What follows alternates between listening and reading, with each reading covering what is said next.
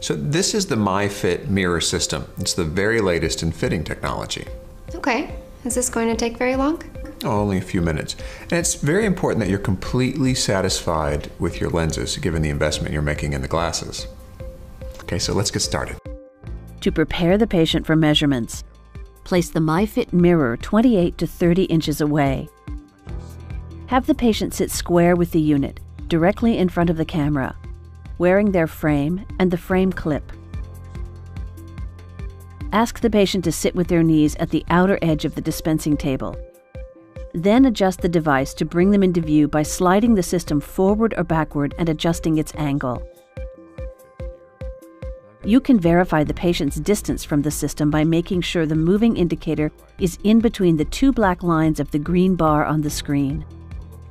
Once you have the patient positioned, ask them to look straight ahead into the distance. Move slightly out of their line of sight to allow this.